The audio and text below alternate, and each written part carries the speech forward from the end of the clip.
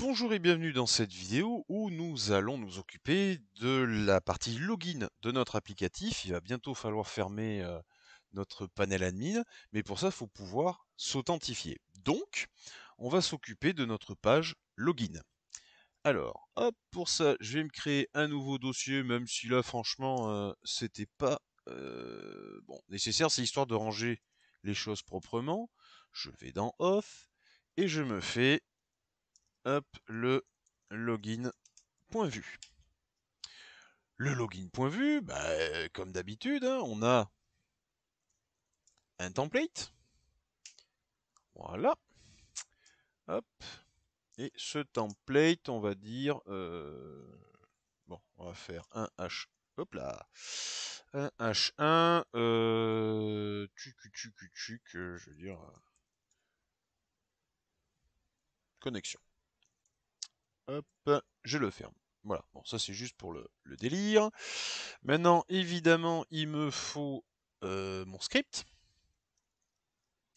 Hop, name, login. Youp, pardon. Voilà. Alors là, pour le coup, je n'ai que, euh, que cette page-là. Donc je vais vraiment pas me prendre la tête je vais directement euh, l'importer, je vais pas faire le système des, euh, des index parce que j'ai que cette page. Je retourne donc dans mon routeur, et enfin, euh, bien ici, alors je vais me l'importer comme ça, ça sera fait, hop, import login from slash view slash os slash login.vue. Voilà. Donc, ici, pour le path, euh, on va dire bah, login. Allez, on va le nommer également, histoire de, histoire de dire. On va utiliser le composant login. Bon, jusque-là, il n'y a pas grand-chose de compliqué. Hein. Et euh, pourquoi? Qu'est-ce qu'il y a? F5. Alors, qu'est-ce que j'ai encore mal écrit? Qu'on soit bien d'accord. Bah ouais, path slash login. Il est têtu, hein Hop là. Si là-haut, je vais sur login, effectivement, j'ai bien ma connexion. Ok. Alors évidemment, maintenant, il faut euh, le formulaire. Soyons fous. On va dans login et on continue ici. Alors, on va commencer un formulaire. Jusque-là, normalement, je vous choque pas. Et puis donc, on va se faire euh, deux, pardon, deux éléments. Ici, on va utiliser la classe, euh, tiens, ça va rappeler des souvenirs, forme groupe. Hop. Euh, ici, à l'intérieur, on a un label. Et ensuite, ici, on a un input, euh, input de type texte. Non, c'est pas ça que je voulais. Non, c'est pas. Il faut vraiment que je retrouve mon, que je remette mon système. Ok. Input de type texte. Voilà. Et on est pas mal. Donc en fait, j'en ai besoin de deux. Je vais faire un copier-coller, hein, login, mot de passe, hein, on est bien d'accord. Et j'ai besoin ici d'un button. Donc je mets mon button. Hop. Ici c'est euh, connexion. Ce bouton, je dis qu'il est de type submit. Euh, hop, et classe, euh, classe, classe button. Je me prépare euh, des petites classes, on sait jamais. Maintenant, mon label, alors, on va dire qu'il est for, hop, user login. Donc ici, on va mettre euh, bah, login. Bon, là, on va pas se prendre la tête. Ce qui veut dire que si j'ai un for, j'ai un ID user login. Hop là.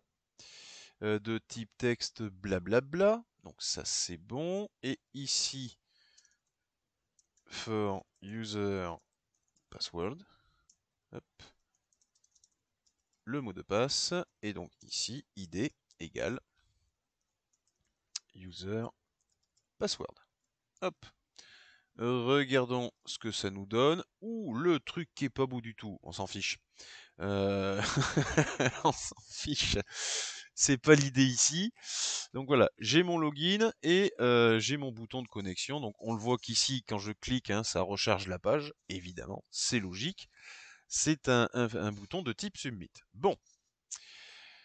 Alors, ce que je veux faire dans un premier temps, c'est intercepter cette action, euh, cette action de, de, submit pour traiter les formulaires. Je ne veux pas laisser euh, faire le, le, submit en entier, je veux pas qu'il recharge la page, je veux stopper ça, aller regarder dans mes champs et euh, faire la connexion. Pour ça, on va d'abord devoir créer une méthode, une fonction, hein, si vous voulez. Je prends mes méthodes et je vais donner la méthode euh, login. Voilà. Hop, ici. Cette méthode login, donc désormais, on intercepte, si je fais un console log euh, ça nous permet d'intercepter. Cela dit, cette login, il faut aussi la brancher sur l'événement. Donc je reviens à mon formulaire, je vais me brancher sur l'événement summit, donc summit, je lui dis hop hop hop, stop mon gars, et je lui dis quoi faire ensuite. Au moment de la soumission, je prevent, le fameux prevent default, et je lui dis d'aller à la méthode euh, login. Si on regarde maintenant ce que ça donne, je vais quand même rafraîchir, voilà. Si je fais une connexion, vous voyez qu'ici j'ai mon stop form et qu'en même temps mon formulaire ne s'est absolument pas rechargé. C'est encore une fois, hein, euh, si euh, je laissais euh, ici que j'écrivais, il faudra que je change.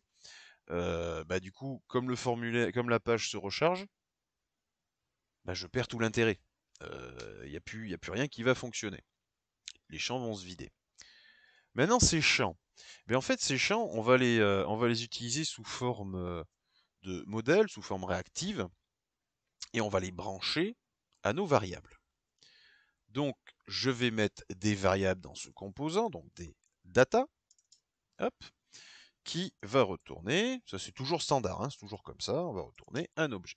Et dedans, je vais mettre euh, les credentials, donc les identifiants, qui est... Oh, c'est un peu galère, euh, non, parce que je vais devoir l'écrire et je suis une bonne feignasse là pour le coup, euh, au moment où je fais cette vidéo. Donc c'est user avec la clé login vide et euh, password aussi vide. C'est un objet, hein, il n'y a rien de transcendant, voilà, c'est user qui est un objet. Et maintenant, je vais aller me brancher euh, cet objet, constitué entre guillemets de deux variables, directement dans mes inputs. Pour faire ça, je vais ici sur mon input et je dis que mon vmodel, c'est égal à user.login. C'est-à-dire l'objet est, euh, ben, on descend d'un cran, la, clé, la propriété que j'ai ici. Et donc pour password, eh ben, c'est le même délire. Je vais me mettre ici vmodel égale user.password. C'est-à-dire que quand j'écris quelque chose, ça, Qu'est-ce que j'ai mal fait? Oui, j'ai mal fermé password. Hop, voilà. Et qu'est-ce que j'ai pétillé encore? Euh, User login, user password. Alors, qu'est-ce qu'il me dit? Méthode? Ah, la virgule Hop. Ça te va mieux Ça te va mieux. Donc, dès quand je vais écrire dans mes inputs, ça va écrire également dans ces propriétés-là. Donc maintenant, ce qu'il est possible de faire, ben, c'est d'utiliser ces propriétés-là. on peut faire un console log de this.user. J'enregistre. Hop. Je tape euh, un login en chiffres et un mot de passe en lettres. Si je clique sur connexion, donc mon formulaire n'est toujours pas soumis, j'ai mon stop form et j'ai mon login et mon mot de passe. Alors évidemment, ça a une, euh, tête un peu bizarre. Euh, ça c'est normal, euh, mais on peut tout de même l'utiliser. Je peux faire un user.login. Je recommence. Hop. Donc j'ai bien ce que j'ai mis dans le login. Hein. C'est pas un objet classique, c'est un proxy, mais ça c'est typique à vue. Et voilà, j'ai branché j'ai branché mon formulaire. On va pas pour l'instant s'occuper du service, mais là on a notre formulaire qui va nous permettre de nous authentifier. Ce formulaire est relativement simple, c'est un, form sur lequel j'ai branché l'écoute du submit. Pour ceux qui font du JavaScript, hein, c'est le add event listener.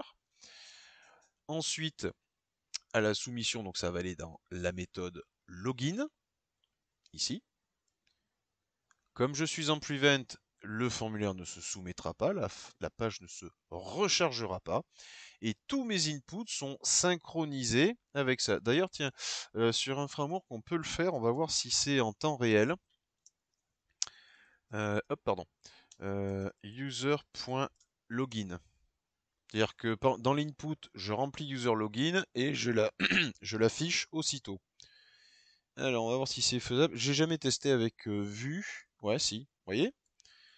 Quand je, tape quelque chose dans l'input, ça se met automatiquement dans la variable. Donc forcément, ce que comme j'affiche la variable, c'est du live. Donc ça, c'est c'est assez pratique. Et tout ça avec le vmodel.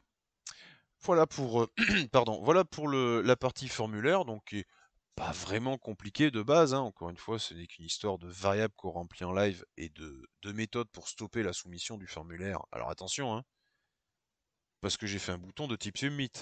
J'aurais fait un bouton de type button, c'était un clic, et boum, c'était fait. Mais du coup, maintenant, ça veut dire que je vais pouvoir fermer ma partie admin. Et ça, c'est dans la prochaine vidéo avec une histoire de guard, de gardien.